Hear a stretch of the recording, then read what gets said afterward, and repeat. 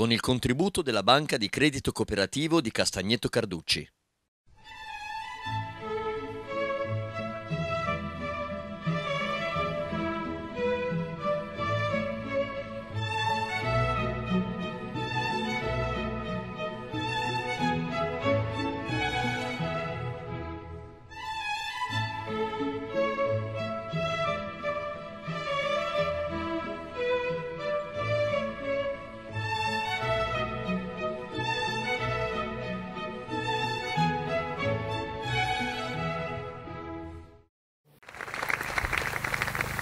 L'augurio di una buona serata, anche se per noi qui è giorno, talmente giorno che il sole spacca le pietre. Siamo sui Monti Pisani e per la precisione sulla Rocca della Verruca, l'occhio, diciamo su questa parte della provincia di Pisa, un luogo altissimo, sempre più in alto con la Pisaniana siamo, vedete il quadro di Filippo Mazzei, il Circolo Mazzei che ha scelto insieme al, ai comuni eh, che insomma in questa zona gravitano e che sono presenti qui nella nostra trasmissione in questa puntata questo luogo magico, questo luogo veramente accessibile soltanto attraverso l'impegno di alcune persone come questa accanto a me che ci hanno portato con i loro potenti mezzi. Allora grazie davvero, un saluto ad Alessandro Carta, presidente del gruppo Volontari Antincendio eh, Fratelli del Moro. Dal 1996 voi operate come volontari in questa zona dei Monti Pisani con il vostro supporto, avete, siete riusciti insomma, a dare il vostro aiuto nei momenti difficili, per esempio uno fra i tanti il grande incendio del 2018 ma anche l'anno successivo, insomma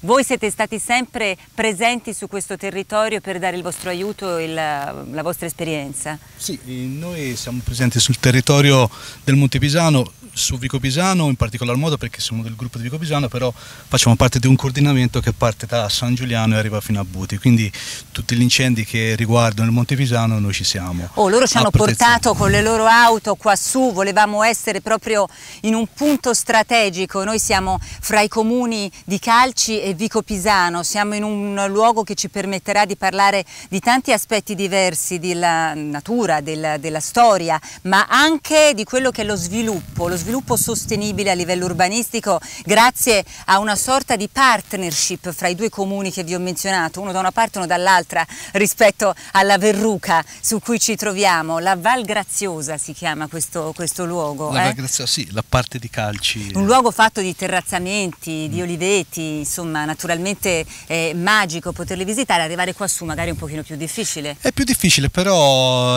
una volta arrivati ne vale la pena. Una volta arrivati ne vale la pena. Sì. Buon lavoro davvero davvero e grazie per grazie averci aiutato a realizzare questa puntata della Pisaniana. Buon lavoro. Grazie. E com'è andata quest'estate al volo? Eh, diciamo per ora bene, stiamo un po' perdendo colpi alla fine, c'è qualche incendio di troppo alla fine, però alla fine... Perché siamo... la regione ha dato il via proprio ora Sì, per ora ha rinnovato il decreto fortunatamente, ha prolungato, quindi ci siamo un po' messi un po' più al sicuro. Grazie davvero, grazie ai fratelli del Moro e in questo caso ad Alessandro Carta che è anche un suo fratello eh, che ci ha aiutato a arrivare fino a qua. Il microfono lo do al sindaco Massimiliano Ghimenti, sindaco di Calci, buonasera, ben ritrovato, noi non siamo in diretta l'avrete capito ma ci fa piacere eh, parlare, buonasera per, per, voi anche che ci state seguendo, grazie Massimiliano Ghimenti. Buonasera a tutti. Matteo Ferrucci accanto a lui, sindaco di Vico Pisano, buonasera Ferrucci. Buonasera, buonasera. E ancora Andrea Bertolini, sovrintendenza alle belle arti, Pisa e Livorno, delegato per quanto riguarda il Monte Pisano, quindi esperto proprio di questo territorio, buonasera. Buonasera, buonasera a tutti. E torna un amico della Pisaniana, il professor Marco Macchia, docente di chimica farmaceutica, ma qui è presente in qualità di delegato del rettore per i rapporti col territorio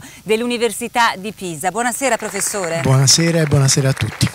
E allora, perché abbiamo voluto realizzare questa trasmissione a parte tornare su un territorio che ci sta molto a cuore e che vorremmo che il nostro pubblico, che non è soltanto pisano, a dispetto del nostro nome La Pisaniana, del canale su cui andiamo in onda, che parte da Pisa, eh, 50 canale, ma che si estende in tutta la nostra regione, vorremmo che tutta la Toscana conoscesse bene questo territorio e quello che c'è in progetto, soprattutto per questi due comuni di cui oggi parliamo, Calci e Vico Pisano, la pianificazione, nuovi strumenti urbanistici eh, dei due comuni per far sì che ci sia uno sviluppo dal punto di vista urbanistico, ma sempre nel rispetto dell'ambiente e valorizzare insomma tutto quello che è il tesoro architettonico e naturale, paesaggistico, ma sempre appunto in quel rispetto che è dovuto ma che è anche richiesto da tutte le norme norme eh, a livello comunitario anche eh, e tutte le novità in fatto di rispetto dell'ambiente. Insomma, parliamo proprio eh, innanzitutto di questi due territori e di come è andata la stagione. Sindaci, eh, l'estate è finita, siamo nel periodo autunnale, insomma abbiamo parlato di incendi purtroppo perché è tristemente nota la vicenda degli incendi terribili sui Monti Pisani, però ecco come è andata in questo 2023 l'estate, il grande caldo? Cominciamo con Calci.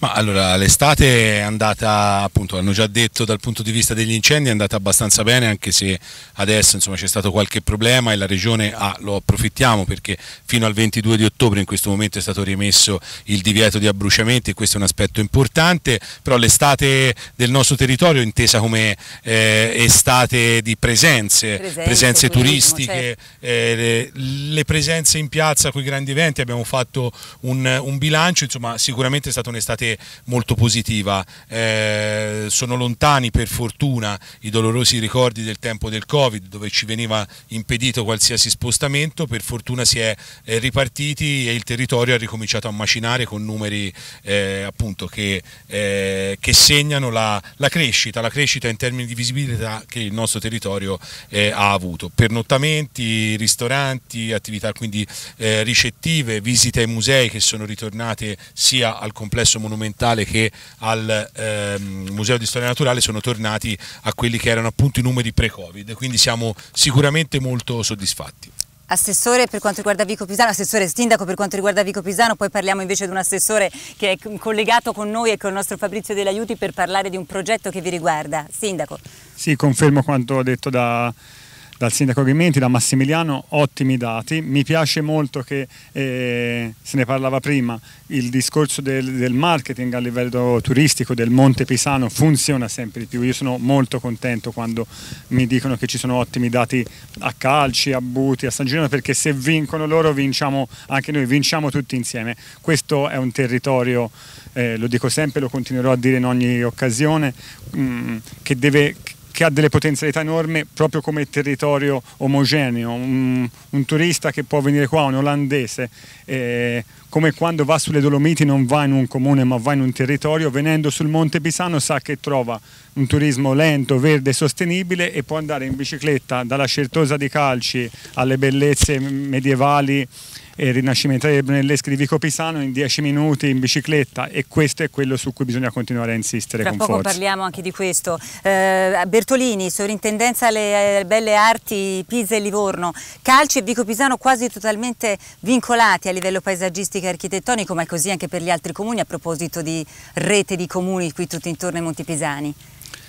Ma eh, Calci Vico o è diverso a seconda dei comuni? rappresentano un'eccezione perché ecco. eh, tutti e due questi comuni sono tutelati eh, da un punto di vista paesaggistico quasi completamente, mentre altri comuni lo sono un pochino si meno. Si parla del 95%?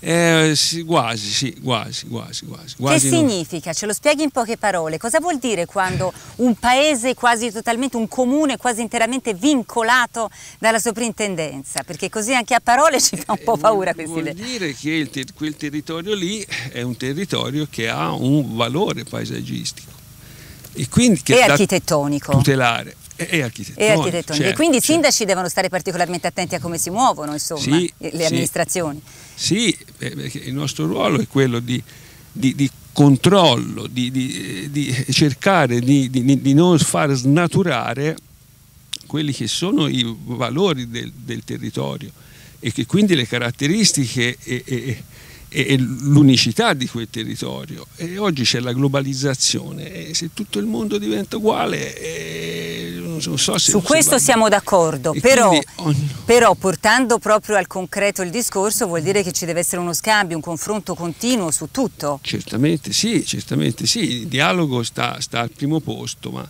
l'importante almeno quanti no dite rispetto ai sì.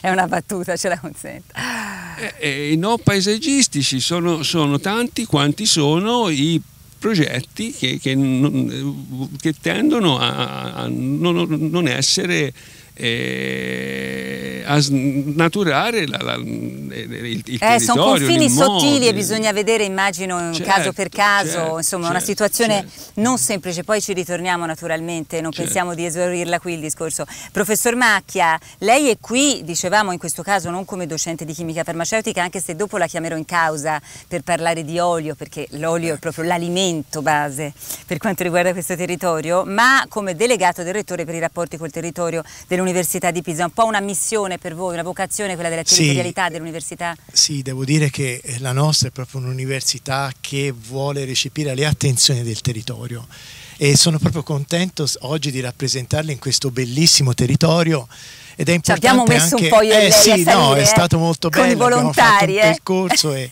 sono molto contento perché poi tutto questo rientra in quella che noi definiamo la terza missione dell'università. Lei cioè- potrà dire eh, all'università, esatto, io vi ho esatto. rappresentato Quindi lassù. Per me è, stat- è veramente una cosa particolare, tra l'altro, perché venire in questo posto bellissimo, delegato per i rapporti con il territorio, quale modo migliore per rappresentare diciamo, tutto questo. Ma voglio anche ricordare che l'ascolto del territorio è fondamentale perché noi come università abbiamo la didattica la ricerca, ma anche quella che noi definiamo la terza missione. La terza missione prevede, oltre che al trasferimento tecnologico, la formazione continua, bene tutto quello che riguarda il trasferire cultura sui territori. Quindi è fondamentale andare nei territori, capire, ascoltare e sulla base di questo poi creare delle iniziative congiunte con i territori. Quindi sono molto interessato di ascoltare quello che ci diranno i sindaci. E allora, uno, forse l'argomento principale in realtà ci porterà a parlare di tanto altro, ma insomma il motivo per cui ci siamo ritrovati qui è eh, l'ufficializzazione, l'adozione del piano strutturale intercomunale fra Calci e Vico Pisano, visioni strategiche di valorizzazione e sviluppo di tutto il territorio comunale con un orizzonte temporale di 15-20 anni, quindi si guarda lontano. Cerchiamo di capirne di più, innanzitutto sentiamo a questo riguardo, poi naturalmente voglio parlare con i sindaci, voglio sentire anche da loro quello che eh, possiamo capire di questo piano e che cosa prevede per il futuro. Sentiamo l'assessore all'urbanistica, lo dicevo poco fa, assessore all'urbanistica Stefano Tordella del comune di Calci, insieme lo vedrete in tutte le salse per tutta la puntata, il nostro Fabrizio dell'Aiuti. Fabrizio!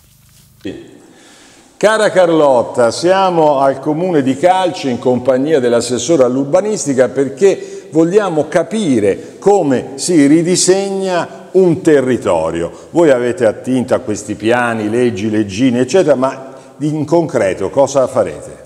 Eh, stiamo ridisegnando appunto il territorio dei comuni di Calci e di Vico Pisano, lo stiamo facendo insieme, quindi con dei piani intercomunali, stiamo rifacendo il piano strutturale e il piano operativo, che sono sostanzialmente i due strumenti principe che danno la trasformazione, che permettono poi di capire come si Ecco, trasformerà. tradotto per chi non capisce i tecnici di urbanizzazione, significa che loro ridisegnano il territorio perché in natura c'è il bosco selvaggio, anche le crete senesi sono state disegnate dall'uomo con i cipressi, col fatto che non si sono costruiti grattacieli, eccetera, eccetera. Quindi concretamente eh, la partecipazione del pubblico è doverosa. Assolutamente, è prevista per legge e noi l'abbiamo favorita molto perché questi strumenti sono strumenti che riguardano appunto tutto il territorio e quindi devono essere assolutamente conosciuti e devono avere un percorso di partecipazione Più Chiaro. nuove costruzioni o più ristrutturazioni del vecchio? Il nostro punto essenziale, l'obiettivo che ci siamo dati è quello del recupero del patrimonio edilizio esistente. Eh, abbiamo un patrimonio molto ricco. Si chiama biomassa, come si chiama quella che si No, produce in la- più o meno? La biomassa è quella che si brucia. No, c'ha un nome tecnico però, vabbè. Il patrimonio edilizio esistente sono tutti gli edifici che già esistono, quindi l'idea è quello di recuperare soprattutto quello che già esiste. Per fare questo dobbiamo comunque dotare il nostro territorio di nuove funzioni e soprattutto di zone a parcheggio e a verde dove per esempio queste mancano perché storicamente si è sviluppato in un altro modo. Ecco, quindi insomma dovete riuscire a quadrare il cerchio rispettando il verde e però favorendo anche eh, l'insegnamento di parcheggi perché sono fondamentali. Poi c'è qualcosa anche per le scuole? Sì, nel, nel, caso specifico del comune di Calci noi stiamo portando avanti la costruzione della nuova scuola media e quindi con il piano definiremo anche cosa fare della vecchia scuola media e dell'area che attualmente occupa. Quindi questo è lo strumento di partecipazione per far sì che i cittadini possano esprimere i loro desideri su come potrà venire. Ecco perché c'è una canzone molto fraintesa di Gabriel Luporini che dice libertà e partecipazione e parlando con Sandro lui dice no, libertà non è partecipazione, libertà è incisione, io sono libero se incido nelle decisioni collettive e questo quindi è importante con il piano che voi fate. Ma qual è la cosa a cui le tiene di più? che dice oh questo proprio è la cosa che, a cui sono particolarmente legato? Allora, del piano siamo in questo momento diciamo, particolarmente legati al fatto di poter mettere in piedi queste strategie e quindi avere la possibilità, anche grazie diciamo, al coinvolgimento di tutti gli altri enti, perché i piani che stiamo facendo non riguardano solo il comune, ma sono comunque eh, verificati, studiati insieme alla regione, alla soprintendenza e quindi l'idea di lavorare tutti insieme per far sì che il nostro territorio... Tempi tecnici, quando eh, verrà attuato il piano, quanto ci vorrà? Allora, noi abbiamo adottato il piano strutturale nell'ottobre del 2022, adesso siamo in fase una fase tecnica diciamo, delle controdeduzioni che sono state anche queste approvate nel Consiglio Comunale, il piano strutturale entro la fine dell'anno. E dopo i lavori? Il piano operativo un po' più di tempo e dopo ci sarà la possibilità eh, per tutti i cittadini di sapere eh, com'è che si trasforma il territorio. Riuscite a farlo nel vostro mandato? Quando scadete? Voi? Noi cercheremo di farlo nel nostro mandato, scadiamo a maggio del prossimo anno, quindi cercheremo di mettercela tutta per concluderlo integralmente. La, la arriveremo a trovare, eh? vogliamo vedere se avete fatto il compitino fatto bene. Grazie Assessore. Carlotta ti restituisco la linea, abbiamo capito cos'è un piano strutturale, meno male. Grazie Fabrizio e grazie all'assessore all'urbanistica Stefano Tordella. Allora Sindaco, partiamo da Calci e poi andiamo a Capico Pisano, perché è fondamentale, importante, vogliamo parlare di questo in questa puntata, l'adozione del piano strutturale intercomunale fra voi due, voi due comuni diciamo, e quello che poi sarà il passo successivo, ovvero il piano operativo. Un po' l'abbiamo capito da quello che ci hanno detto loro, ma insomma ritorniamo e cosa cambierà?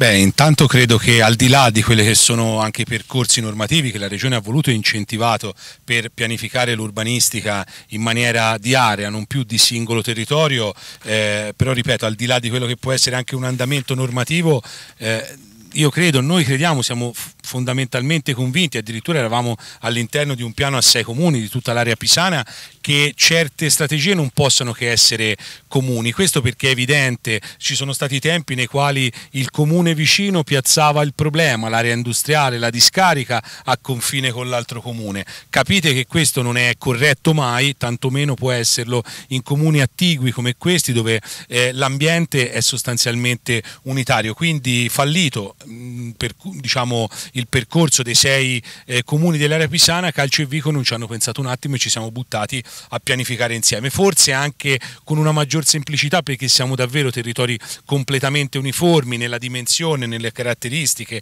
abbiamo solo l'Arno, con gli altri fiumi avevamo anche il Serchio, quindi autorità ah, competenti quindi diverse, anche a livello per cui un po' più semplice. ci siamo diciamo, dati questo obiettivo ma soprattutto abbiamo condiviso dei punti fondanti perché poi i piani devono avere anche una loro come dire, eh, coerenza e tra questi il principale, l'ha detto l'assessore ma lo voglio ribadire, è quello del privilegiare assolutamente il recupero del patrimonio edilizio esistente che deve essere condiviso con tutti gli enti che poi sono preposti a dire, eh, pianificare, eh, aiutarci a pianificare i territori al posto del consumo di suolo. Pensate, do un dato, eh, se tutte le previsioni, ed è materialmente impossibile che questo avvenga, che abbiamo inserito nel piano strutturale dovessero realizzarsi nei prossimi 15-20 anni assisteremo allo 0,09% di consumo di suolo, meno dello 0,1% di consumo di nuovo suolo e addirittura siamo andati ad abbattere del 40% le previsioni di superfici già esistenti Sono nei piani numeri molto importanti. vigenti. Sindaco, parliamo anche con, naturalmente con il sindaco di Vico Pisano Ferrucci. Sì, confermo quello che ha detto Massimiliano, era un dato che lo volevo dire anch'io, quindi immaginate quando vedete le foto eh, dei paesaggi, com'era Pisa, com'era Firenze, com'era la campagna prima e si vede quanto le abitazioni, ma per ragioni al tempo anche eh, parzialmente condivisibili, lo sviluppo economico degli anni 50, 60 è quello che c'è stato, ma si vede che sempre, c'è sempre meno natura, Esatto, sempre meno... esatto. Se tutto parte, a, Vico- a Calci ancora meno, a Vico Pisano ha- alle zone industriali quindi siamo allo 0,3%, di questo 0,3% uno 0,2% è capannone, campo, capannone, ecco lì, se uno fa un investimento noi gli abbiamo dato la possibilità di, di farlo. Chiaramente tutto questo quindi questa attenzione massima che abbiamo messo sul territorio e sul consumo di nuovo suolo deve trovare anche però l'altra parte della medaglia, cioè fare di tutto affinché la parte del recupero sia in qualche modo agevolata e qui sarà molto importante l'impegno di tutti. E poi c'è il bosco e la comunità del bosco si prende cura di questo grande bosco dei Monti Pisani. Il nostro Fabrizio Dell'Aiuti ha fatto una grande corsa e parla adesso con loro, con la comunità del bosco. Andiamo a vedere. Cara Carlotta, siamo in un uliveto ben tenuto eh, in compagnia del presidente dell'associazione del Bosco e qui e Com- eh, si chiama Comunità del Bosco del Monte Pisano, è un ente del terzo settore. Oh, e questo è tenuto bene, ma il bosco incombe, il bosco cresce a dismisura e allora eh, c'è il problema di gestirlo questo bosco. Ecco la vostra missione. La missione della Comunità del Bosco non è tanto quello di una gestione del bosco, è contrastare l'abbandono, cioè il bosco, il Monte Pisano, tutto il territorio boscato, Guardi là. è- tutto il territorio boscato è stato 60 anni fa abbandonato, completamente abbandonato.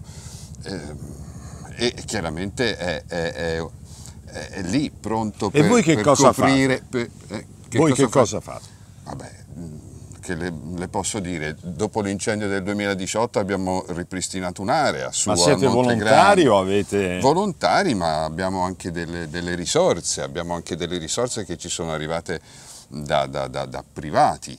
Eh, Andremo ad intervenire ora su altre due aree che sono state bruciate E nel quanti 2018. siete voi della comunità? Siamo bosco? circa 150 associati, Accidenti, ma, tanti, ma- bravi, ma- complimenti. ma- grazie infinite. Quello che è importante è che all'interno della comunità del bosco fanno parte, partecipano non solo privati, cittadini, imprenditori, ma anche le pubbliche amministrazioni. Noi abbiamo cinque comuni dei sette comuni che insistono su questa realtà orografica, perché non ci limitiamo ovviamente a Calci. Sono nostri associati Calci, Vico Pisano, eh, Lucca, Capannori e ora a breve anche Buti. Ecco perché è importantissimo gestire eh, bene il bosco. L'abbandono poi crea tanti problemi ne sappiamo qualcosa con gli incendi, con le alluvioni. Quindi il lavoro che fanno questi signori è veramente un lavoro lodevole. Io- lodevole. io devo- io, io vi ringrazio Sì. perché fate una cosa veramente incredibile. Avete bisogno di qualcosa? Ma No, dunque- diciamolo, siamo in televisione. Sì, di, sì, di- ma- che cosa avete no- bisogno? noi- Facciamo una noi ab- richiesta. visto che il programma SO sta parlando della pianificazione eh, dei, dei due comuni, Calce e Vico Pisano, noi abbiamo già mandato i nostri contributi al piano strutturale eh, intercomunale, quando ovviamente dovevamo inviarli. Ora si sta aspettando il piano operativo. E Eh, che cosa avete chiesto? eh, abbiamo chiesto tutto quello che è possibile chiedere in una situazione di questo genere, E cioè? A- ad esempio con riferimento a- alla, alla gestione degli, degli oliveti, eh, si potrebbe pensare a, a- a- facilitare in qualche modo eh, la, la costruzione, macchine, la costruzione- la costruzione di annessi, mm, la- la- la- la- anche la viabilità, quella interpoderale, quella, quella- quella vicinale. Abbiamo dei gioielli, dei veri gioielli. Il Monte Pisano è costellato di terrazzamenti, un patrimonio dell'umanità. Non dimentichiamo mai quello che è il Monte Pisano, è il Mons Eremiticus del Petrarca, con i suoi oltre 20 eremi che costellano il nostro monte.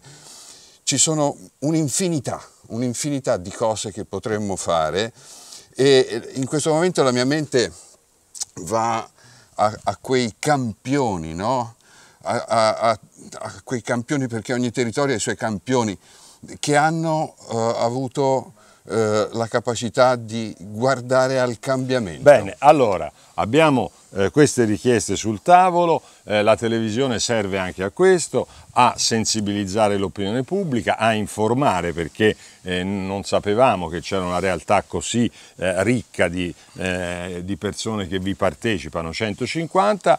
Eh, viva i tutori, gli angeli custodi Me, del bosco. L'ultima battuta perché devo restituire battuta, la linea, forza! L'ultima battuta è questa. La comunità del bosco di Montepisano ha vinto un bando promosso dal Ministero L'11 di novembre prossimo faremo un convegno qui in Certosa eh, a Calci dove affronteremo il tema bosco, acque, eh, oliveti, innovazione dobbiamo pensare a, a, qualcosa di innovativo. Allora, per saperne eh? di più, andiamo Andate tutti a vedere... sul nostro sito oh. www.comunitadelboscodelmontepisano.it Lì trovate tutto. Grazie, grazie, grazie. grazie. Ciao, ciao.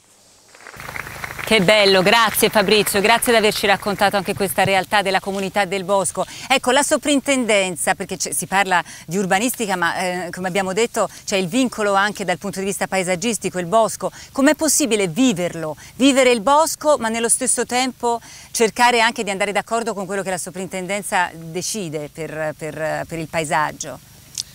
Eh, vivere in bosco sì, significa eh, avere de, delle attrezzature per, per, per, per, farlo vivere, quindi queste attrezzature dovranno essere delle strutture eh, a, a, volte anche amovibili, anzi forse è, è preferibile amovibili, realizzate con materiali naturali che mm. si intonano col paesaggio e soprattutto di dimensione consona e soprattutto posizionate nei luoghi adatti.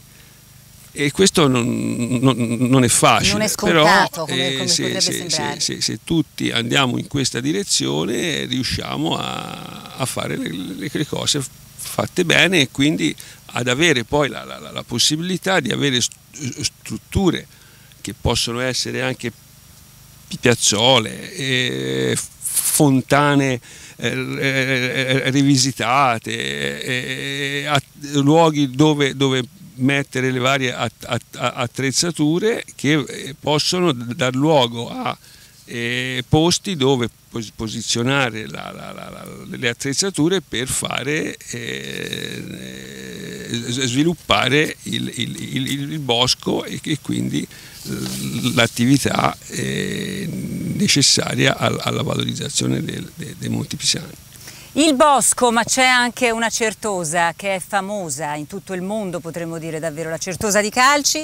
Andiamo con eh, il nostro Fabrizio Dell'Aiuti, che intanto è corso anche lì, alla certosa di Calci col direttore Pierluigi Nieri. Eccolo qua. Fabrizio.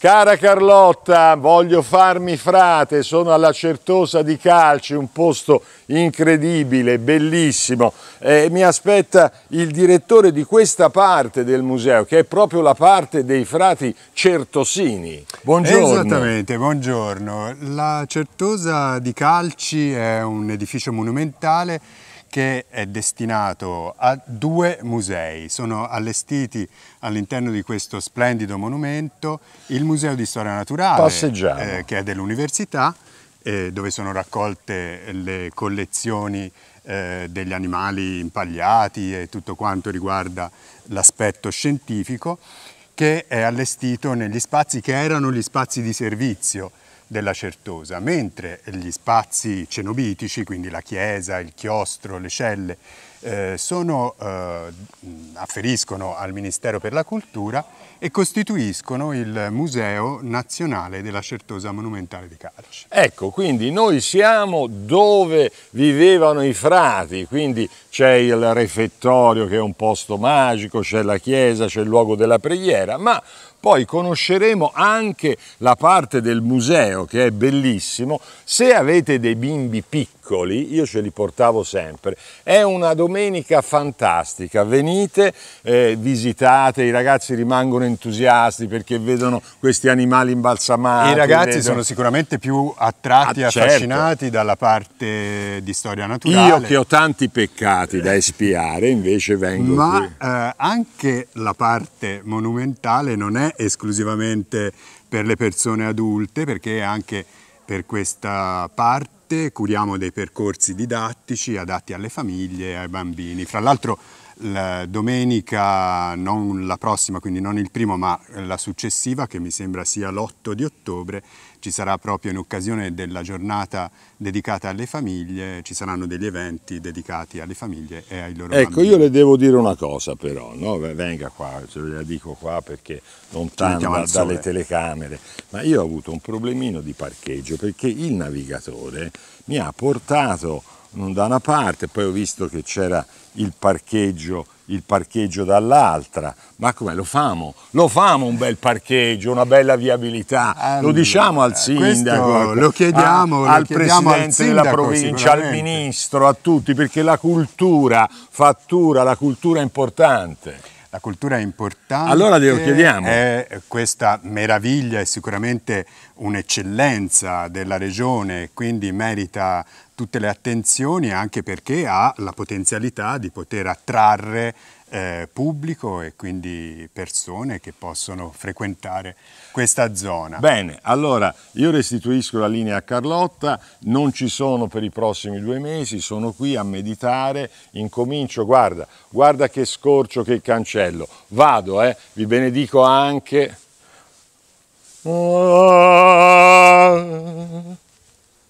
Bravo Fabrizio, vai a meditare, fallo anche per noi. Noi qui invece dalla Verruca, qua sui Monti Pisani, salutiamo momentaneamente perché torniamo tra pochi istanti, neanche il tempo di accorgersi di un po' di pubblicità e la Pisaniana ritorna, tra pochissimo.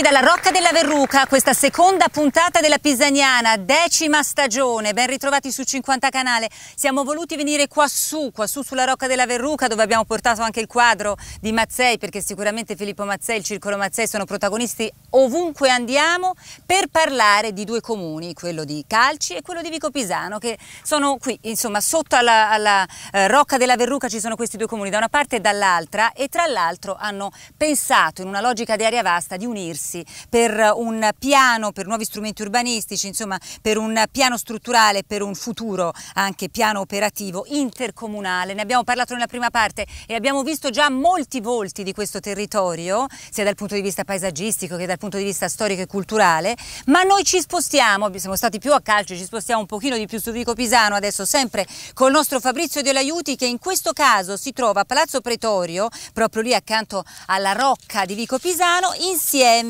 a Giovanni Fascetti, presidente dell'associazione Ippolito Rosellini, per parlare di una mostra che è in corso sulla via Micaelica. Non sapete cos'è? È importante invece saperlo. Ascoltatelo.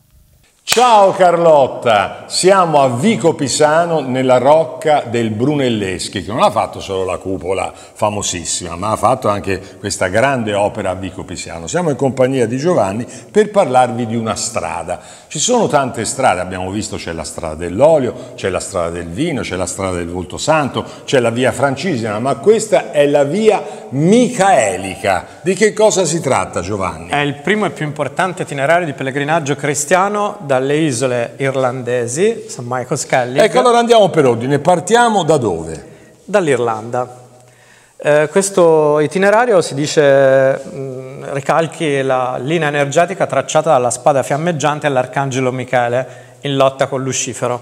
All'avvento del cristianesimo, i primi cristiani, soprattutto monaci irlandesi, cominciarono a percorrere questa linea in direzione di Gerusalemme. Allora, da, da questa eh, Dall'Irlanda. luogo iniziale passiamo... Arriviamo alla Manica, eh, qui siamo alle Cornovaglia, eh, San Michael Mountain, un santuario affascinante perché rimane isolato dalla marea al pari dell'altro più famoso, Oh, famosissimo. Mont Saint-Michel. Mont Saint-Michel, guardate che meraviglia.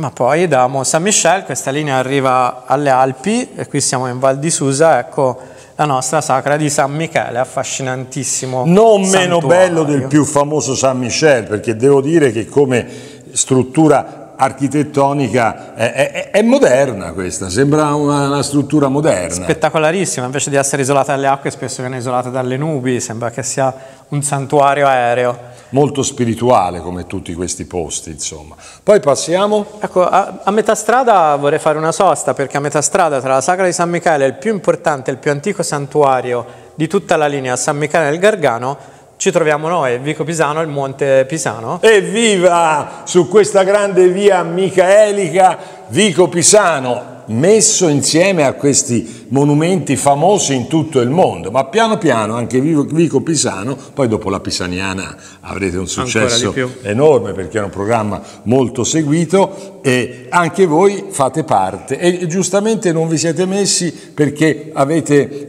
un senso no? de- de- de- della misura, è la rocca che parla. Ed è San Michele in Verruca, il principale santuario micaelico di questa parte dell'Italia. Benissimo. Qui Ma arriviamo al Gargano e poi proseguiamo, proseguiamo in direzione delle isole del Dodecanneso, ecco il santuario di Simi. Eh, Ah, guardate questo, che fai questo primo piano, sembra quasi una torta questo eh, campanile, è, è bellissimo, eh? lo stile si vede subito eh, in- in- intarsiato, inserito nel luogo. E poi dopo qui arriviamo alla meta. Arriviamo alla salvezza, arriviamo alla luce del- dell'Oriente, il Santo Sepolcro, qui siamo al Monte Carmelo Haifa e quindi possiamo poi raggiungere Gerusalemme. Ecco, come si fa per visitare? Andiamo qua che stiamo più alla luce. Qui vedete, poi c'era raccontato tutto. eh. Ora noi facciamo un servizio televisivo di 4 minuti, ma dovete venire a vederlo perché qui viene tutto spiegato in maniera dettagliata. Questa mostra fino a quando rimane, eh, come si fa per accedervi, c'è un biglietto, ci dica tutte le cose. Adesso, dopo la poesia, parliamo delle cose pratiche. Il Sabato pomeriggio e la domenica fino alla fine di novembre Palazzo Pretorio è aperto al pubblico. Questa mostra è aperta gratuitamente eh, finché il comune di Vico Pisano ce ne darà la, la possibilità, non- finché non ci sarà un'altra esposizione, quindi speriamo fino a novembre. Eh, Beh, quindi allora anche gli amici parsimoniosi di Genova, di Lucca, eh, questa notizia che è gratis la prendono volentieri, quindi anche gli amici lucchesi possono venire, eh, perché tra. Lucca e Pisa... eh. Va bene, allora eh, noi eh, credo Carlotta che ti abbiamo delucidato su questa via micaelica da una rocca del Brunelleschi, scusa eh, eh, Carlotta perché te c'è la tua rocca, ma anch'io ho la mia e la mia è del Brunelleschi. eh. Ti restituisco la linea, ciao! Grazie, stupendo. Ringraziamo anche Giovanni Fascetti per questa vera e propria lezione su questi eremi, su questi luoghi anche mistici di un territorio come questo. C'è anche questo aspetto sicuramente importante e ci spostiamo invece in questo caso di nuovo alla Certosa di Calci. Oh, non l'abbiamo detto prima perché si stava chiudendo la prima parte, Sindaco, c'era un appello un po' ai parcheggi perché sicuramente l'aspetto del parcheggio nella zona della Certosa non è eh, ancora il massimo. Che pensate di fare su quel fronte lì? Perché la Certosa di Calci i, i visitatori non finiscono mai, insomma, per Assolutamente. un motivo o per un altro. No, i visitatori sono tanti, come dicevo stanno tornando alle soglie dei 100.000 che era una, come dire, una soglia impensabile fino a non moltissimi anni fa e che invece per fortuna si sta ritornando eh, a crescere e si va in quella direzione. Ma siamo convinti che il complesso dei due musei e il suo complesso insieme, come dire, anche se riusciamo ad integrarli anche di più, cosa sulla quale stiamo lavorando da, eh, da tempo, possa crescere ancora. Quindi certamente c'è bisogno anche di queste eh, dotazioni, c'è l'attenzione nel piano eh, individuata una localizzazione che era stata concertata anche con la soprintendenza, oltre che con le direzioni dei musei e, e su quella direzione eh, spingeremo appunto in- nel percorso partecipativo che è il piano e abbiamo anche già trovato, siamo entrati nella società Pisamo che avrà il compito di costruire, gestire fino a che non sia ripagata l'opera, in questo modo potremo finalmente dotare la Certosa del parcheggio che merita e potremo farlo anche in una formula sostenibile, eh, cioè senza eh, sostenere costi e la sovrintendenza è d'accordo, giusto? Senza microfono faccia sì con la testa. No, ecco, era troppo bello per essere vero. No, le spiego, io sono, sono eh, ritornato funzionario del comune di Calci da poco e quindi non, non, non, so se precedentemente c'era stata un'autorizzazione, un, quindi non, non, posso esprimermi su Ma questo. Ma il sindaco ha detto di sì, insomma. Eh, allora, insomma... Sì. va bene, va bene, noi ci crediamo.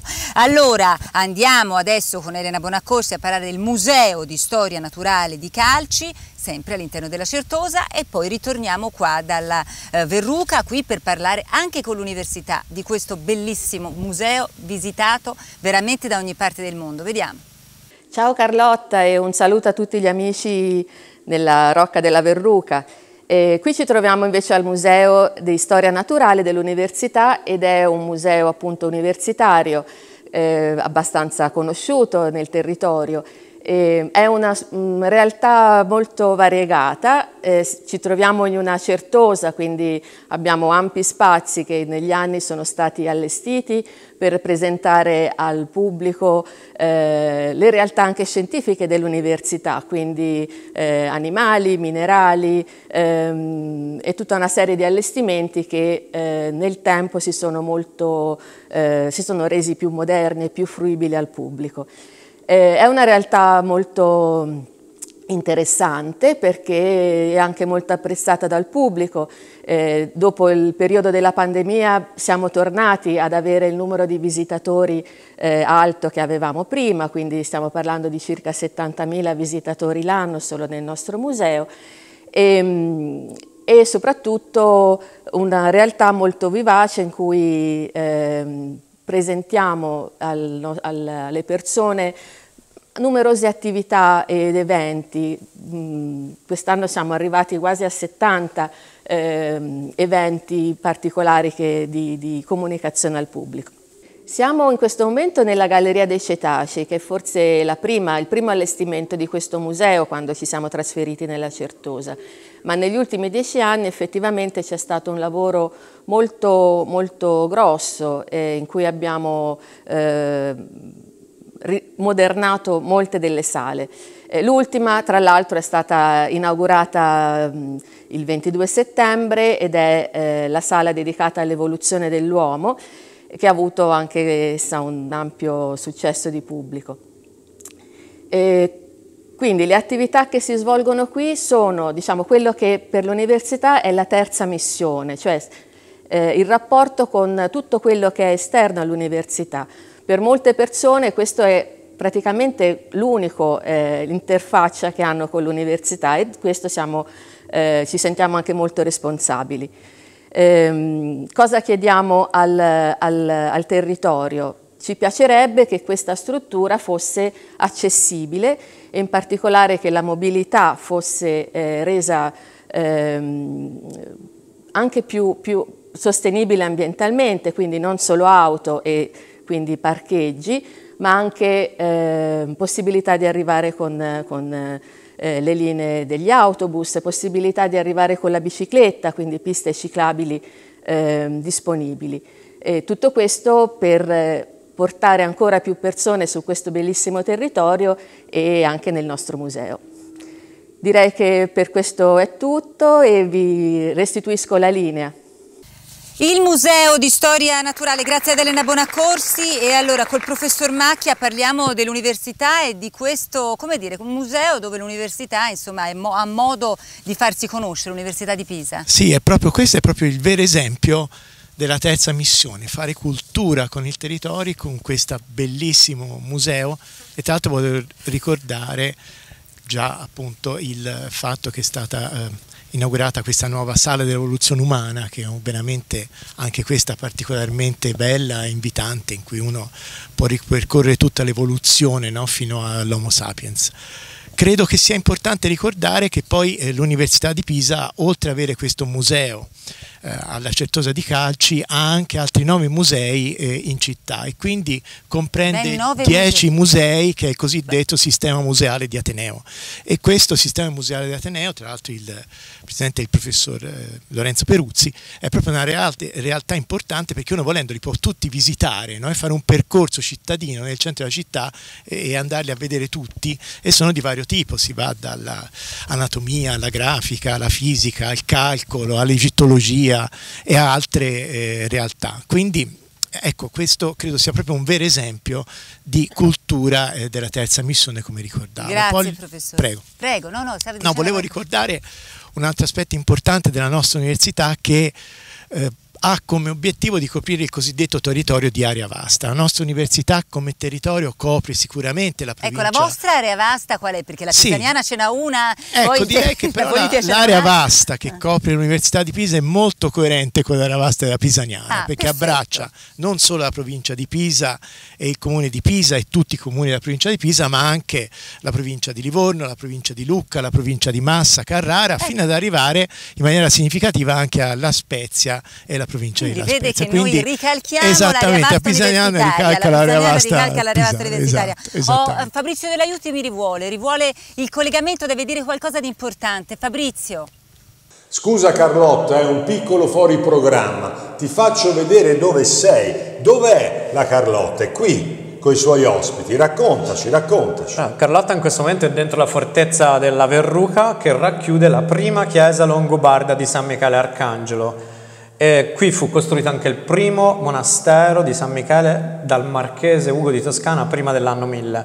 In basso si vedono i resti del secondo monastero costruito intorno alla metà del XII secolo. Ecco, noi invece, e qui lo possiamo vedere da questa cartina, eh, siamo adesso eh, in questa situazione. Quindi te sei qui, dove è la verrucola, e noi siamo più in basso. Però noi siamo nella rocca del Brunelleschi.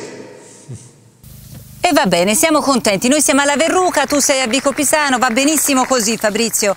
Eh, Fabrizio poi continuerà, eh, lo rivedremo più tardi. Adesso credo che eh, lascerà appunto Vico Pisano per dirigersi altrove. Eh, fra poco andiamo invece anche nel comune di San Giuliano per parlare della Rocca di Ripafratta. A questo proposito vorrei parlare di quelli che sono luoghi, abbiamo detto anche prima, monasteri, luoghi spirituali, luoghi simbolici anche di un percorso diverso per un turismo eh, attento anche a questo e quindi chiedo al sindaco di Calci per quanto riguarda il monastero di Nicosia, c'erano stati dei fondi richiesti, vi erano arrivati se non sbaglio dal ministro Franceschini o, o ricordo male? No, no, è corretto, il ministro Franceschini ha stanziato un, un, finanziamento importante di circa 4 milioni di euro, poco meno se non ricordo male, eh, per avviare ovviamente il complesso di Nicosia abbandonato da tanti anni e quindi eh, come dire, si può con queste risorse che sembrano tantissime ma in realtà per il tipo di recupero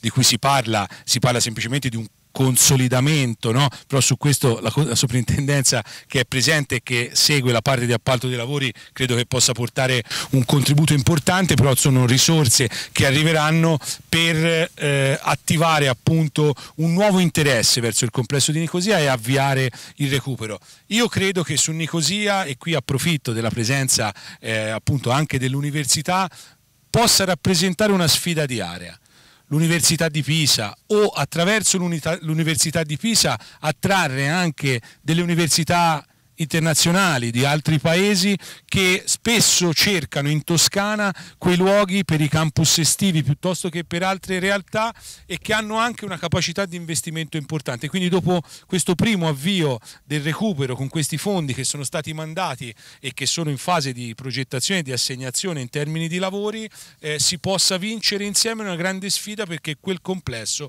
possa tornare davvero a nuova vita ma con una finalità pubblica che sarebbe una doppiamente auspicabile. Idea, progetto, penso sia d'accordo su questo anche il professor Macchia. Invece al sindaco Ferrucci, al sindaco di Vico Pisano, chiedo eh, come sta andando invece il discorso del recupero della torre di Caprona, eh, perché anche lì credo ci sia l'università, in un progetto che prevede, insomma, dopo magari faccio parlare naturalmente anche il professor Macchia e la soprintendenza su questo. Che, a che punto siamo di questo progetto? Siamo andati molto velocemente perché in pochi mesi, eh, anche sulla spinta delle, delle emozioni nate da, da, dagli studi dei, dei, dei due mm, critici d'arte eh, francesi che sono andati sulla, sulla TV nazionale francese, c'è stato un po' di aspetto anche emotivo e di emozione, abbiamo firmato la convenzione con le tre università, con i privati, perché lì è privato. Quando si dice Ah, a è volte privato. è tutta privata, la, la- la meravigliosa eh, Verruca alle nostre spalle non solo è privata ma insiste su due comuni. Quando vengono da me Massimiliano e dicono aspettate dell'altro che crolli no il classico discorso da bar. Non si capisce Non la complessità che c'è dietro. aspetto. quindi noi abbiamo fatto una convenzione come, come abbiamo fatto del resto per, la- per la- per il camminamento e per la Rocca dei Brunelleschi che anche questi sono di proprietà privata. Privata. bisogna fare delle convenzioni tutto diventa più difficile. Eh, comunque la- il- diciamo, la parte più difficile sarà fatta. Ci sono dei privati che si stanno offrendo per farci la progettazione gratis sembra troppo bello ma eh, spero che a questo punto si realizzi velocemente Soprintendente, soprintendente, io dico soprintendente per abbreviare, sia su Nicosia sia su Caprona. Ecco, dunque, su Nicosia ho una no- novità di stamani mattina, che è arrivata la, la- la verifica favorevole della progettazione. Quindi eh, nel giro di qualche, spero, eh, in- incrocio le Di dita, ma qualche?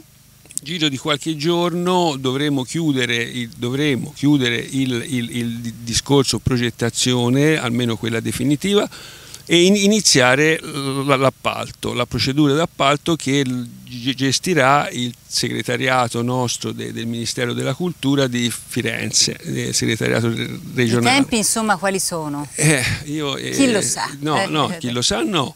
Io vorrei, è un desiderio, ma eh, vorrei in- iniziare prima della fine dell'anno, Mm. perché poi l'anno prossimo poi potrebbero nascere delle Quanti complicazioni. mesi ci vorrebbero poi per tutto il lavoro? Come? Quanti mesi ci vorrebbero? No, Anni? il mesi è un paio d'anni, eh, perché sono qua 4 milioni Quindi e il 2 di sindaco che ha iniziato purtroppo non lo vedrà alla fine del suo Eh, mandato. Non Vabbè. lo so, magari eh, se, se poi si, si ripresenta alle elezioni dopo, forse sì. Dopo, dopo un po'. E Va co- bene. E comunque volevo Su dire... quanto riguarda, per quanto riguarda Caprona? Caprona noi abbiamo, abbiamo scritto ai proprietari e, e- e- st- stiamo, eh, stiamo appoggiando la, la- la- la- proposta de- de- del sindaco Ferrucci di questa convenzione, di questa, quindi da parte nostra massima disponibilità alla valorizzazione.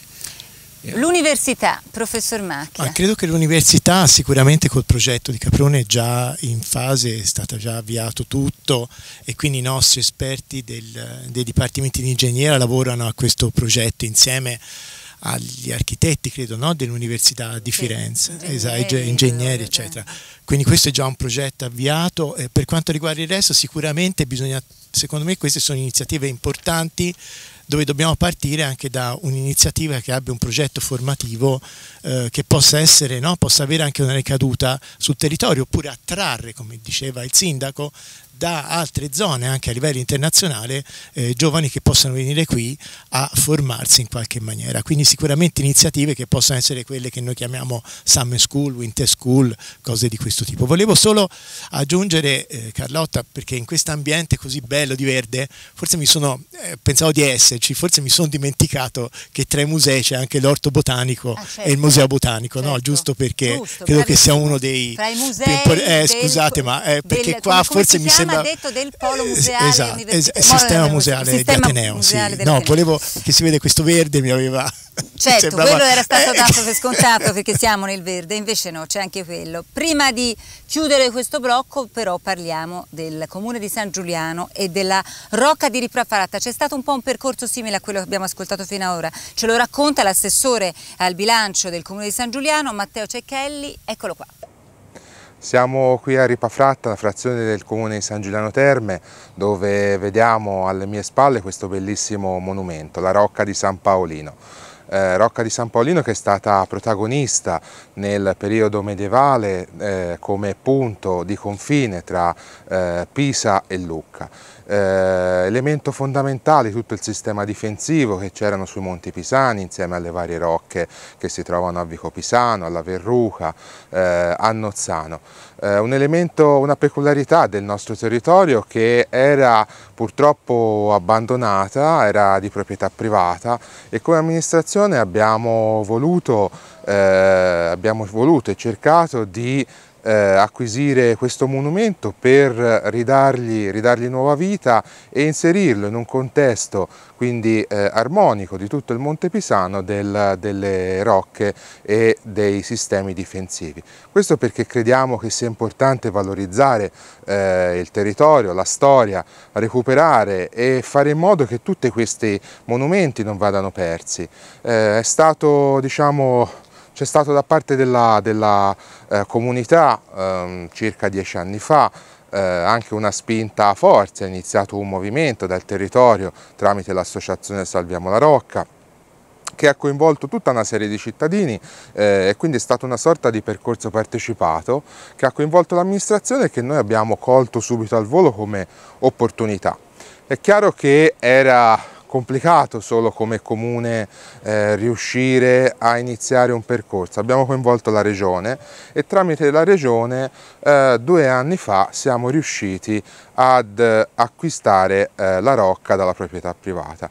Quindi eh, la rocca oggi è un bene pubblico, un bene del comune di San Giuliano Terme, eh, questo ci permette, ci permetterà di poter iniziare un percorso anche di richiesta di acquisizione di fondi per il suo recupero e il, la sua valorizzazione. Um, il Comune di San Giuliano ha fatto quattro anni fa ormai un protocollo d'intesa con l'Università di Pisa, la Facoltà di Ingegneria, il professor eh, Marco Giorgio Bevilacqua, eh, insieme anche alla Proloco eh, di Ripafratta Salviamo la Rocca. Questo protocollo d'intesa è finalizzato al recupero appunto della rocca, del, della frazione anche di Ripafratta e quindi vogliamo cercare di creare un contesto che possa valorizzare il monumento, il monumento, dal punto di vista turistico, dal punto di vista eh, ricreativo, dal punto di vista eh, culturale. Eh, è chiaramente un progetto ambizioso, servirà del tempo, serviranno degli anni. Intanto abbiamo affidato all'inizio dell'anno eh, ad una società che fa parte eh, delle start-up, delle spin-off di ingegneria, il rilievo laser scanner 3D, eh, ci hanno consegnato in questi giorni la nuvola dei punti eh, tridimensionale, è stato fatto rilievo anche col drone, questo ci permetterà di avere da qui ai prossimi mesi il rilievo dello stato di fatto della rocca. Ecco, questo è un punto di partenza che ci consentirà poi di iniziare tutte le indagini sul monumento, le indagini statiche, le indagini del degrado dei materiali e ci permetterà consecutivamente di fare un progetto e di cominciare ad, attingere a dei fondi per il suo recupero.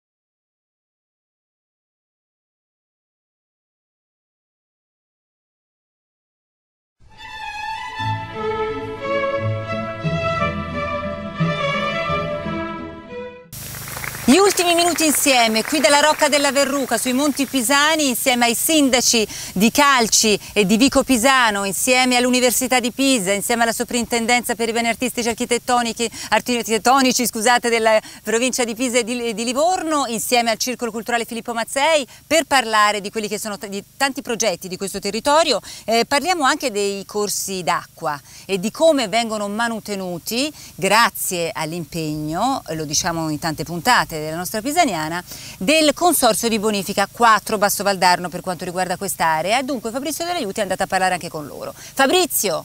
Cara Carlotta, voi siete lassù nella splendida fortezza, noi siamo a valle, ci unisce l'acqua, l'acqua eh, scende dalla montagna e attraverso il fiume poi arriva al mare, ma l'acqua è anche un problema, ne sa qualcosa il nostro Maurizio che è presidente del consorzio di bonifica 4 perché siete numerati.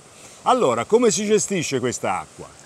Bene, eh, l'acqua è importantissimo gestirla, non a caso noi ci chiamiamo consorzio di bonifica perché nelle bonifiche poi dopo ci deve essere un seguito, alle bonifiche si deve dare un seguito e di conseguenza va seguito il percorso dell'acqua e devo dire negli ultimi tempi è ancora più attenzionato perché o c'è troppa acqua o c'è poca acqua, quindi la gestione del territorio in funzione dell'acqua è molto importante. Ma la domanda che si fa alla gente, mi permetta Presidente, mi permetta, dice arriva la bolletta della bonifica e mio padre faceva, oh, oh quanto si paga questa bonifica? È, è bonificato e via, non è così.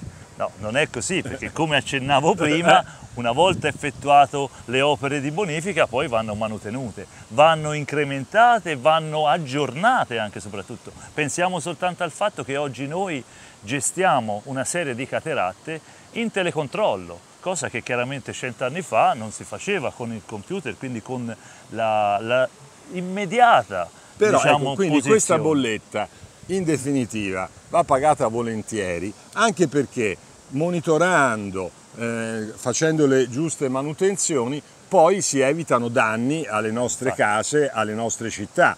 Quindi è importante prevenire, come Esatto. diceva il famoso spot, più che curare. E voi siete un po' gli angeli custodi. Qui vieni, voglio chiamare anche lui in causa, no? È uno dei tanti che lavorano e, e facciamoli vedere. È un nostro Qua- custode del territorio. Quanti sono i vostri dipendenti? Noi abbiamo 94 dipendenti eh, per tutto il consorzio che è stato riunificato nel 2014 che comprende le aree della Val di Nievole oltre che l'area pisana e l'area della Valdera. Arriviamo fino a Volterra con i territori, quindi diciamo, siamo un- un'area vasta diciamo. e quindi tutte queste persone vigilano perché appunto i danni che possono essere creati dall'acqua siano il più limitati possibile o il più controllati possibile. E allora adesso virtualmente risaliamo verso la nostra Carlotta che è in cima a questa fortezza. Nel risalire eh, abbiamo l'altro problema che è quello delle frane, controllate anche quello. È evidente che tutto ciò che è legato allo scorrimento delle acque, quindi ai, eh, alle raccolte, quindi i corsi d'acqua che noi abbiamo in, in gestione, è tutto collegato. Quindi in pianura abbiamo il problema degli allagamenti, in montagna analizziamo il problema legato alle frane, quindi è una- un monitoraggio a 360 Maurizio, la pago più volentieri la bolletta quest'anno Beh, perché, piacere. perché, perché ho capito tutto il lavoro che c'è dietro. Restituiamo la linea a Carlotta dicendo che ancora una volta è la conoscenza che fa la differenza. Ciao Carlottina! Grazie Fabrizio, grazie a Ventavoli, grazie al Consorzio di Bonifica, abbiamo capito anche come funziona la questione delle bollette, Fabrizio è unico. Eh, e allora partiamo- parliamo con i sindaci riguardo ai corsi d'acqua, iniziamo stavolta però da Vico Pisano. Eh, come, cioè, sicuramente c'è l'impegno del Consorzio ma c'è l'impegno anche del, del Comune, insomma eh, da questo punto di vista come, eh, quanti, quanti corsi d'acqua sono attenzionati, quali sono le difficoltà? Sì, Vico Pisano è particolarmente complesso perché oltre al consorzio presieduto da Maurizio Ventavoli che ringrazio perché noi li stressiamo in continuazione quando abbiamo le sollecitazioni dei cittadini, quando parte il taglio ci, e ci sono anche lì tantissime cose confliggenti, interessi tutti nobili, ma fra il taglio che non può essere fatto in un periodo di tempo ah, per, per- per- per la fauna, Certo, eccetera, e però nel frattempo la gente ha paura degli allagamenti eccetera e poi c'è quello, noi abbiamo anche l'altro consorzio, Toscana Nord di, presieduto da Ismaele Ridolfi, Ah, ok. quindi già questo è molto complesso, c'è l'Arno, c'è il canale emissario e ci sono tantissimi corsi d'acqua che vengono da- dal Monte Pisano e vanno verso l'Arno, quindi è un sistema molto delicato, molto fragile che impatta in maniera anche decisiva sul piano strutturale, sul piano operativo, su tutto il sistema delle acque. A proposito di recuperi, questo vale per Calci e vale per Vico Pisano, noi vorremmo recuperare e dare possibilità a certi manufatti ormai abbandonati eccetera, ma le nuove normative molto stringenti anche sul dissesto idrogeologico lo impediscono, quindi siamo molto stretti fra tutte queste leve, ma abbiamo solo un'unica soluzione, continuare a lavorare, studiare e impegnarsi al massimo per risolvere questi problemi. Ghimenti. Beh, eh, io devo dire che la storia di- del territorio di Calci è una storia che è fortemente legata all'acqua. Eh, gli abitati principali del nostro paese sono nati lungo i corsi d'acqua, le due zambre, le zambre del paese. E lì ci sono gli abitati più storici, anche quelli produttivi, perché eh, era la zona produttiva di Pisa, la Val Graziosa.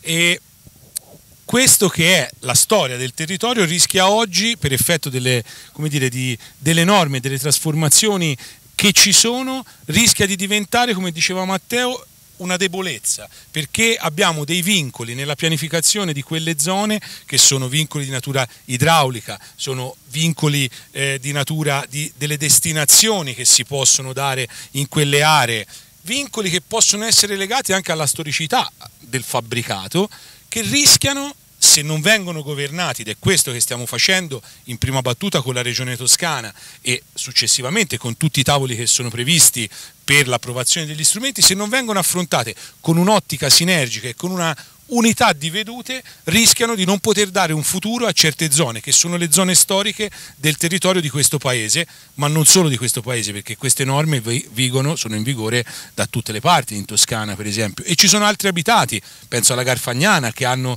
delle, dire, delle caratteristiche simili. Ecco, la sfida è quella di certamente nella tutela idraulica, nel, nella riduzione del rischio, nel rispetto eh, di quelle che sono le prescrizioni paesaggistiche, ma la sfida è quella di dare dotazioni in quelle aree e di poter recuperare quei volumi con, con interventi di qualità e fare in modo che tutto questo possa stare in piedi e abbia anche una sua sostenibilità. Altrimenti il rischio è l'invecchiamento del patrimonio edilizio senza futuro per alcune zone e questo credo vorrei... che, non può, che non vada bene per nessuno. Vorrei che la soprintendenza parlasse anche di questo perché a volte il vincolo sì. può essere eh, un limite, a volte può essere sicuramente una tutela, è molto difficile. No, eh, per quanto riguarda i, i mh, territori che, che diceva il sindaco Chimenti, di solito sono dei territori legati ai fiumi e ai vincoli paesaggistici che non precludono la, la, la, il, il, riordino di questi volumi. Quindi è, è, un, è, una, è una, strada da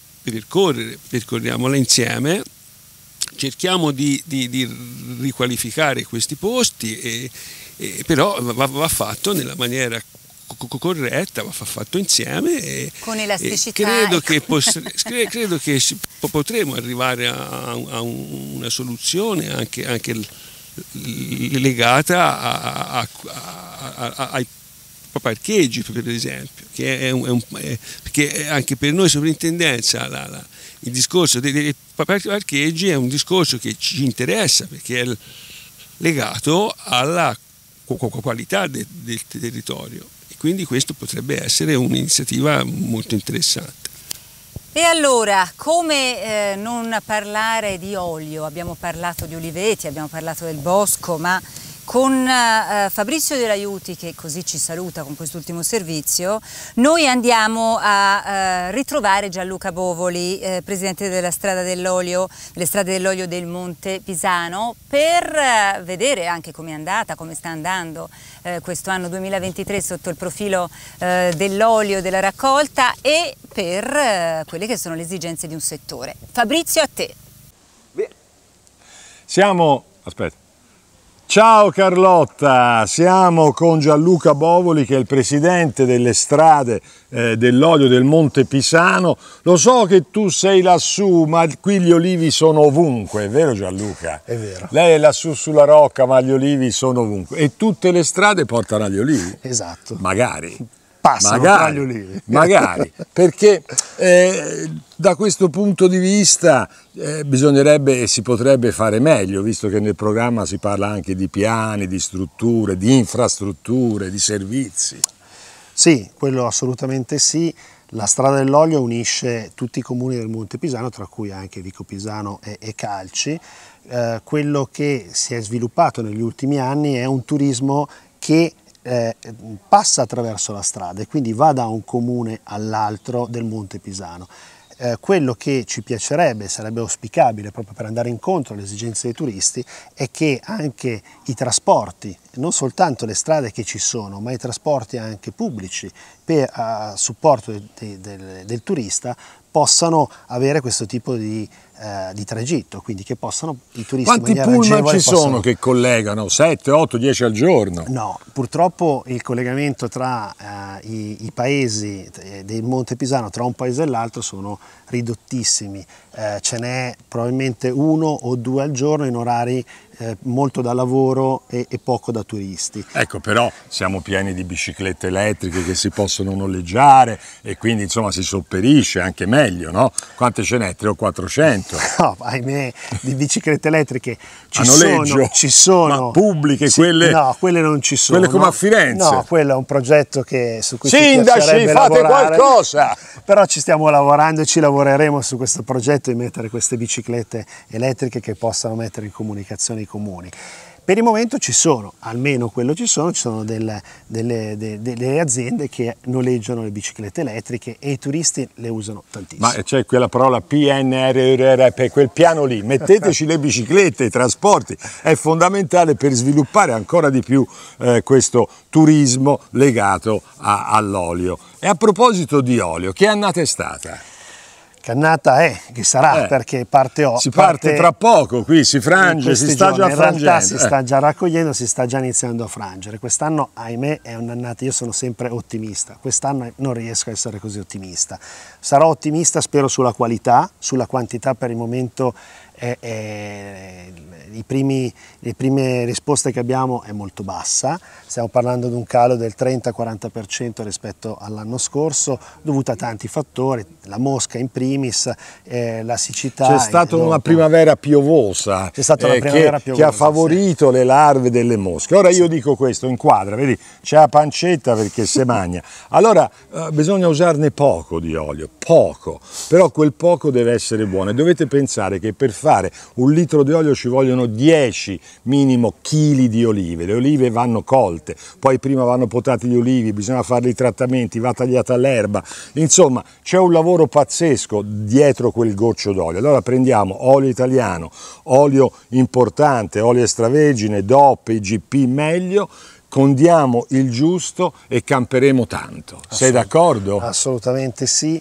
L'olio ha questo grosso vantaggio che oltre a essere molto buono, oltre a impreziosire i nostri piatti, fa anche molto bene alla nostra salute. Però deve essere un olio buono, di Come qualità. Quindi, quindi io capisco la crisi, perché la, la patiamo tutti, però compriamo una bottiglia d'olio anche per i nostri figli, usiamolo bene, perché tante volte si spende 15-20 euro per una bottigliaccia di prosecco, che ora non se ne può più, perché è bene dirlo, su 10 bottiglie di prosecco ce n'è una a modo, in mezz'ora si beve e non si compra con 20 euro una bottiglia d'olio, che dura un mese. Quindi pensiamoci quando pensiamo alla nostra salute e a quella dei nostri figli. Io ringrazio il nostro ospite, cedo la linea a Carlotta. Oh, ce l'hai lì i sindaci, digli che facciano qualcosa con i pullman, con le biciclette, perché qui vogliamo girare da Frantoio a Frantoio per tutto il comprensorio del Monte Pisano. Ciao, grazie. Grazie, ciao. Grazie Fabrizio Dell'Aiuti, un saluto anche a Gianluca Bovoli. Col professor Marco Macchia non posso perdermi l'occasione, lui che è docente di chimica farmaceutica, di parlare di olio. Tanto ha parlato nelle nostre trasmissioni anche di nutraceutica. L'olio però non è un farmaco, eh, diciamolo chiaro e tondo. Eh. No, però mi piace ricordare che proprio la- nel 2016 abbiamo fatto proprio una trasmissione a Pisaniana, proprio a Vico Pisano, eh, proprio al frantoio di, di Bopoli. Che dire, l'olio è un alimento nutraceutico, quindi è un alimento che è dotato, oltre alle proprietà nutrizionali, di proprietà salutistiche. E quindi sappiamo tutti che è un cardioprotettivo e quello che è importante, voglio dire, è ribadire l'importanza della cultura nell'olio d'oliva, perché la qualità dell'olio è fondamentale affinché ci siano queste proprietà salutistiche che lo caratterizzano. Quindi è importante parlarne, parlarne sempre, anche a livello scientifico. Noi come università siamo coinvolti sia nello studio delle proprietà salutistiche dell'olio, ma aggiungo in questo momento stiamo anche lavorando agli studi degli scarti dall'olio perché sono ricchi di polifenoli, anche questi possono servire per poi avere dei prodotti eh, Ci salutistici. sono nuovi studi sull'olio, dice è già stato scoperto tutto. No, no, no, no, perché ci sono questi eh, polifenoli che di fatto poi possono essere estratti, caratterizzati e poi studiati per le varie eh, proprietà. Quindi chiaramente questo è molto importante, ma ribadisco è importante che nell'olio siano presenti eh, questi eh, polifenoli, quindi la qualità è essenziale. Sindaci, parlo a lui in questo caso Vico Pisano, poi arrivo anche a Calci per chiudere, eh, si parlava con Bovoli della mancanza un po' di mezzi pubblici per andare a vedere, a conoscere questi territori, questi territori, questi- queste realtà anche eh, dell'olio, insomma le aziende eccetera eccetera, biciclette, insomma manca un po' questo aspetto ancora, si può implementare, si può fare meglio? Sì, Gianluca me l'ha detto proprio sabato in occasione della festa che abbiamo fatto e che è andata molto bene, eccetera. Chiaramente ognuno guarda la sua componente, i genitori degli adolescenti dicono che non ci sono abbastanza mezzi pubblici per raggiungere le scuole secondarie, secondo grado a Pisa, eccetera. Per fortuna con il nuovo riassetto e della nuova gara che spero parta a gennaio dovrebbero, essere, dovrebbero aumentare di molto le, le, le le corse e si spera che questo migliori ulterior, ulteriormente la connessione fra tutti i comuni della zona anche in chiave turistica. Su questo però eh, voglio essere estremamente serio e trasparente perché non mi piace fare promesse che poi tornano sulle nostre scrivanie ma non dipendono solo da noi, non è, non è il tavolo del singolo sindaco è quello su cui si gioca questa partita ma un sistema più generale che in qualche Giusto. modo abbiamo smosso dopo tanto tempo. Sindaco di Calci? Sì, assolutamente confermo, anche per il comune di Calci con eh, il T2, ora è un aspetto tecnico, ma diciamo con il secondo tempo della gara eh, del trasporto unico regionale ci sarà un aumento eh, delle corse, dei collegamenti diretti con Pisa, una nuova linea che va verso la zona di Navacchio e lì si arresta, eh, che consente di salire sulle frequentissime corse della linea Pontedera Cascina eh, quindi una trasformazione importante che siamo contenti contenti, è stata pianificata negli anni, purtroppo in ritardo, come diceva Ferrucci, no, Matteo, non dipende da noi, eh, però su questo abbiamo investito e sicuramente migliorerà la cosa. Non siamo fermi però neppure nel tema delle postazioni delle bici, eh, bici elettriche, eh, eccetera, tanto che attraverso Pisamo, mh, nel, della quale facciamo parte della compagine eh, sociale, eh, una postazione, il sindaco Conti si è impegnato che venga messa sul territorio di Calci per essere collegata legata appunto al sistema di questo tipo di biciclette con Pisa e, ed è anche questo un aspetto che attendiamo di localizzare eh, insieme o al nuovo parcheggio appunto a cui facevo riferimento prima o in altra area che sceglieremo insieme ai musei, insieme alla soprintendenza, ma insomma già su questo, anche su questo abbiamo una risposta pronta perché siamo consapevoli della necessità. Tra poco torniamo per le ultime battute e saluti. Prima però vorrei lanciare la linea alla nostra dottoressa Teresa Sichetti con la sua rubrica Terra, Ambiente e Salute perché insieme a lei c'è un personaggio che chi come me ha vissuto l'adolescenza negli anni Ottanta non può dimenticare, non dimentica, Clive Griffith che lei è, andato, è, andata a ripescare, è diventato suo amico e lei insieme a Clive è andata a ritrovare un video degli anni 80 o 90, non mi ricordo ma mi sembra 80, in cui già si parlava per quanto riguarda la tutela dell'ambiente, la sostenibilità ambientale, del problema del riciclo della plastica. Pensate voi. Teresa. Carlotta, guarda un po' chi ho vicino a me, questa serata è veramente unica oltre che speciale, ma unica sicuramente. Guarda un po' chi c'ho. Ma, ma, perché unica? Perché non mi vuoi più, insomma, non si può ripetere? No, lo ripeteremo, ma questa è la unica eh, perché rimane unica, la prima è unica. Noi abbiamo Clive, Carlotta. Eh, vuoi dire qualcosa alla nostra presentatrice? Sì, vorrei chiedere scusa per il mio italiano, ho imparato da Nurio e non è mai cambiato in 40 anni, anzi 45 anni che risiedo qui in Toscana. Avrei voluto dirtelo io, meno male l'hai detto te. Allora Clive, perché tu sei qui stasera vicino a me? Oltre che faremo una serata stupenda e facciamo una replica, diciamo, di Telemonte Pecora. Vorrei che il regista guardasse bene tutti i particolari che abbiamo riprodotto. Clive, tu nel, nel 1990, ho mm-hmm. visto la data era quella, hai fatto una canzoncina sul riciclo della plastica. Sì. Io ne parlo tanto sì. nella Pisaniana, ma come ti è venuto in mente negli anni Ottanta? Si sentiva già questo problema? Si sentiva già questo problema perché ricordiamoci che negli anni Ottanta abbiamo per la prima volta affrontato i problemi ambientali, quindi abbiamo imparato parole nuove delle, della lingua italiana come mucilaggini, come ozono, come, come tante cose qui. Poi magari non abbiamo imparato da quello, però siamo, eh, abbiamo dovuto affrontare situazioni eh, che poi sono ovviamente peggiorate ultimamente. Comunque, de detto quello, cioè, il problema l'altro è, è, con il boom della plastica, perché sai, il telefono è fatto di plastica, tutto è fatto di plastica, bisogna pensare dopo dove si mettono, non certo. sto parlando più del telefono, più di altro della... Certo. Diciamo che la plastica ci ha dato anche dei vantaggi, ma sì. l'uomo poi esagera sempre.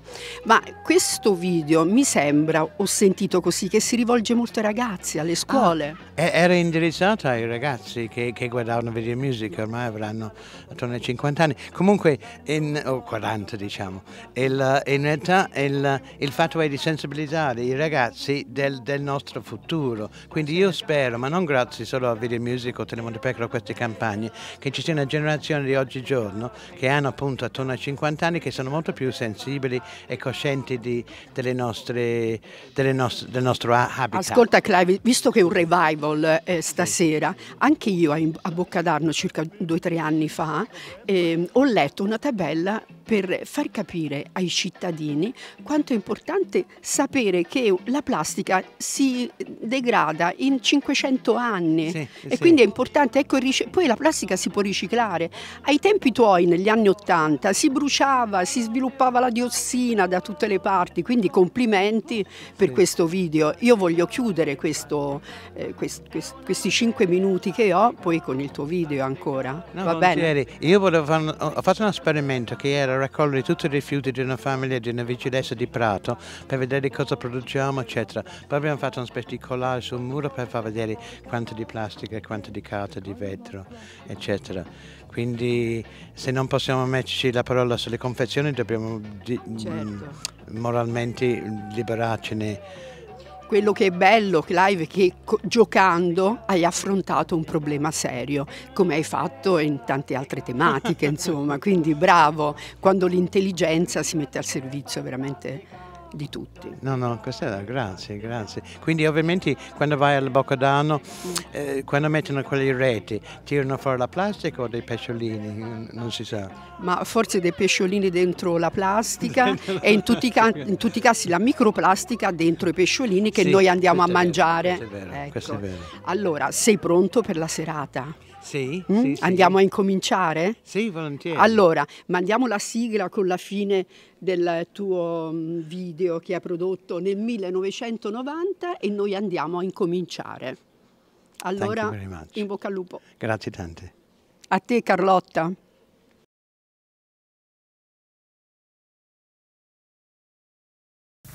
Quanti amici della Pisagnana sempre di più con Teresa Clyde Griffith, grazie davvero, un saluto e un abbraccio, a presto, tornando ai nostri comuni di Calci, di Vico Pisano, al Monte Pisano, eh, concludiamo con quelle che potrebbero essere le ultime news, quelle che non abbiamo detto fino ad ora. Mi è venuto in mente la scuola, la vecchia scuola, la nuova scuola, che succede sotto il profilo degli edifici scolastici a Calci? Mi fa piacere concludere su questo perché ne parlava l'assessore all'inizio e mi fa piacere concludere perché è il progetto più importante che abbiamo portato avanti avanti come amministrazione in questi anni. Siamo eh, fondamentalmente convinti che la scuola rappresenti non solo dal punto di vista simbolico ma anche dal punto di vista materiale il luogo della crescita dei nostri ragazzi. Investire nella scuola è fondamentale, le scuole del territorio sono state tutte valorizzate durante la nostra amministrazione, la scuola media andava semplicemente dismessa perché eh, non, non, raggiungeva standard di sicurezza sufficienti, quindi la stiamo costruendo grazie all'INAIL con un percorso lungo, nuova eh, e come diceva l'assessore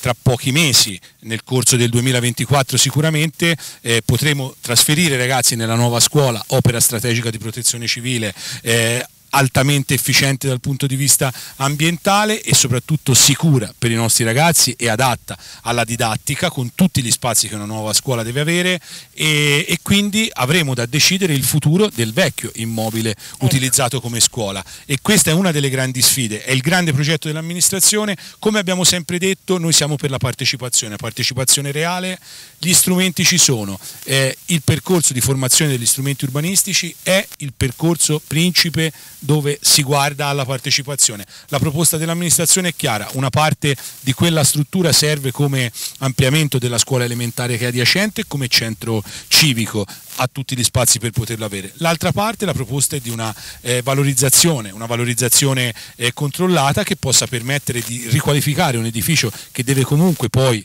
prossimamente essere demolito, non è neppure un edificio storico, non ha superato neppure i 50 anni, eppure già da essere dismesso e, e per realizzare che cosa? Questo è quello che vogliamo disegnare insieme ai cittadini e magari anche recuperare delle risorse per interventi importanti sul territorio, ma questa è la parte sulla quale attendiamo anche i contributi di chi vorrà eh, farlo, come sempre anche in questo caso anche degli enti, anche dell'università, perché noi siamo fondamentalmente convinti che eh, anche l'università possa aprirsi ai territori intorno e forse una visione di diffusione anche dei dei centri eh, del sapere possa essere una diffusione che guarda all'area vasta, non solo in termini che spesso se ne parla nella politica e nei comuni, si parla di area vasta perché qualcuno vuole conquistare qualche altro territorio, invece portiamo i servizi, portiamo le opportunità, portiamo anche l'università magari in questi territori. Ci rimangono pochi secondi, Sindaco Ferrucci, cosa ci rimane da dire? Il Parco di Olivete Terme, magari diciamo qualcosa anche su quello? Sì, il Parco di Oliveto Terme stanno andando molto bene i lavori e con una certa velocità e questo ci fa piacere, ma anche qualità. Quindi mi immagino che, penso che